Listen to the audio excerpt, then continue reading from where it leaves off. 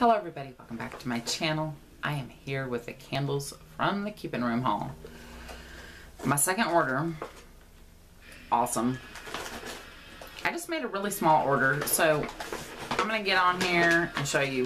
Um, first of all, she sends you samples, beautiful. She asks you if you want them when you're ordering. You say, yes please. And she is so generous, so generous. There's never been another vendor that I know of that gives as many samples as she does. And it's like, it's crazy.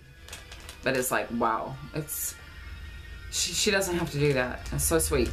Okay, this first one is Perfect Peach. And this cute little flip-flops. This is a good peach. This one is like a fresh, juicy peach, like you've just bitten into one. Okay, next one is Blackberry Sage. I was thinking about buying this scent, but then I took it out of my cart.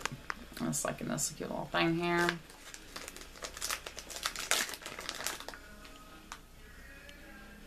This one smells good. You smell the sage and a little bit of that sweet blackberry. I wish I would have got it now. It's really good. Okay, let's see what we have next in the bag. Woodstock 69. And this little grubby heart.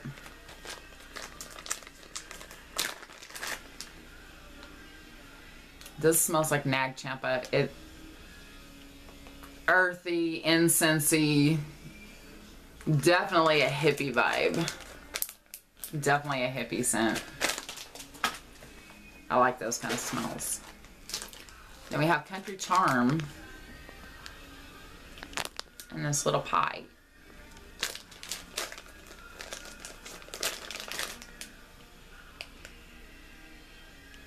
This one reminds me of like the craft store vibe.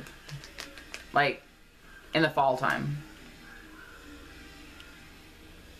When they have their cinnamon sticks and all that kind of jazz out for fall and Halloween. It's definitely a good fall scent. Then this is Autumn Morn. Autumn Morn. It's in this cute little um, pie piece, or cake piece, I'm sorry.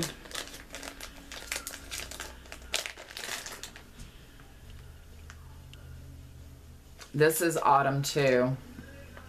Well, it's called Autumn Morn. It does. It smells kind of like leaves. It's almost like I can smell like baked apple in there or something like that too with all the spices. Then, breakfast at Tiffany's. I'm not sure what that is.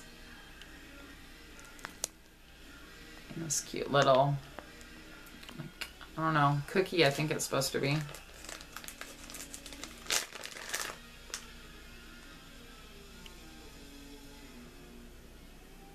This one's different. I don't know what it is. It doesn't smell foody to me. I don't know, there's like a greenness to it.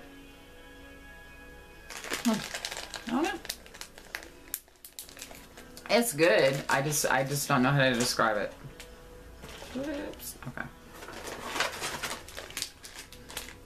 grilled peaches and pecans.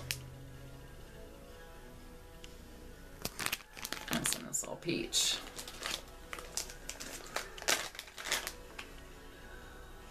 This one I'm not too fond of.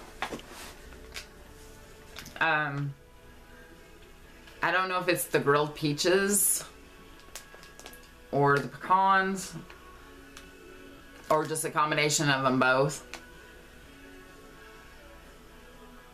Mm, my nose doesn't like that one. No. That one's just not for me. But at least now I know, so I won't get it. Okay, this one is patchouli spice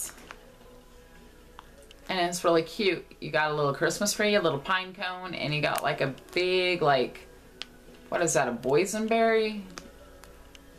I can't remember what they're called. Those things that are bigger than raspberries and blackberries. I don't remember. My aunt used to have some of those bushes. I can't remember what they're called. Dang it. Huckleberry? Mm, not sure. This one's good. You get that patchouli and the spice. It almost reminds me of like um, black pepper.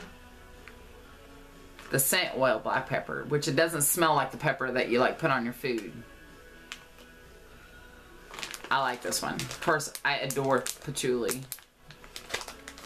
So, not bad. There was only one that, you know, I didn't care for out of all those samples, which is cool. Now into my order. Where we to start? Where we to start? I'm to start over here. This first one I got is Peach White Cake. And she always has them wrapped up, you know, these beautiful ties wrap around. Gorgeous. Okay. Look at the little peach. It almost looks like a little baby's butt. Looks like a baby butt. This is that good peach that was like in that sample, like a juicy peach. And I get a little bit of like white cake in there. That's good. I like it. Okay, my next one is green pumpkin. And these are double bagged in cello bags, polypropylene cello bags. This is one of the pumpkins. And then you have the darker burgundy pumpkins in here. And one of my favorite shapes of hers, the corn. It is so real looking. This one is a really good scent too. I can't quite...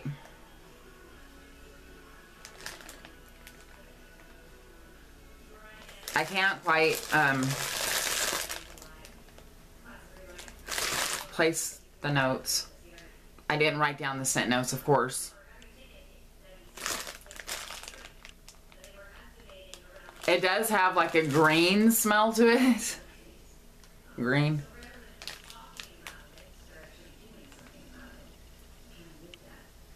Ah, dang it, I don't know. It's good though. This next one is pink sugar orange juice. Pink sugar orange juice. And it's got these little milk jugs in there. Or mason jars, not a milk jug. This one's really good. I it smells like orange juice.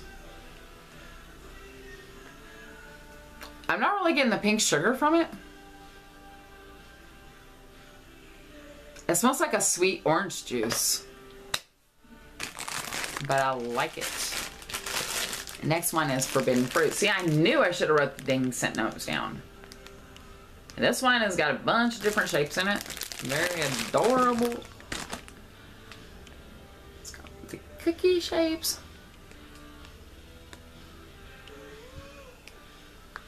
This one I believe has different fruits. There's something sharp in here though. Not quite sure what that is. There's like a sharp tangy note in here. Hmm. It'll be interesting to melt that and see what it smells like to get a better sense of the smell. I mean, then I got pink sugar and sweet lemon. Yes, I was on an orange and lemon cake here lately. Oops. And this one is full of these grubby hearts, which are just adorable. Oh, and I found out, thanks to a couple people who commented on my last video, that her wax is pure paraffin too. So, it might not smell as strong on cold, it will come out as it gets heated up though. This one is so good. It is a sweet, sugary lemon. Yum. I like this.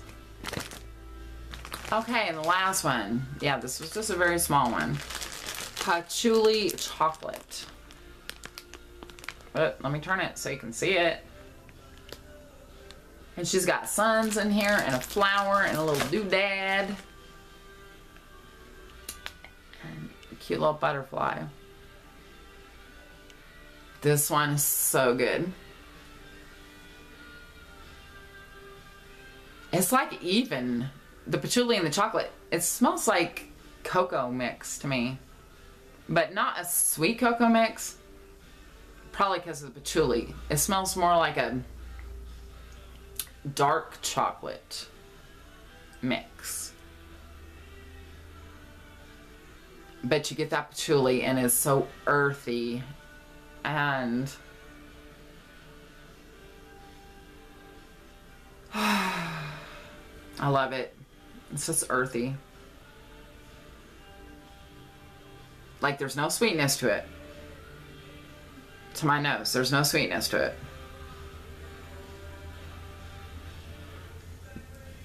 Dark, earthy, dark chocolate. It gives it a little bit of sexiness. Oh, I just, mmm, yum. Okay, so that is it. That is it. Um, I cannot believe that it is almost the middle of, yeah, it's almost the middle of July already. Time goes by so fast. So, still in the process of teaching my daughter to drive, which is like, part of me is like, hey. the other part of me is like, mm. no. Um, stressful. It's stressful.